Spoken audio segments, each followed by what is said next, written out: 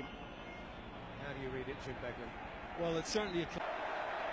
Napoli are off the hook, and here is Hamsik. And then Insigne, and Thuram has gone beyond him, and he's rolled it in towards Higuain, and it's twitched out to Callejon, and Higuain has belted it in! 65 seconds! And they're... Best in the world at times, Higuain. I just think it was a mistake from Murillo. And once Callejon just knocked the ball into his path, he took it ever so well. And it's just a case of getting it out of his feet and smashing it. And there's absolutely nothing Handanovic can do about that. But you have to go back to Koulibaly and his part in that because he won the challenge in the other box.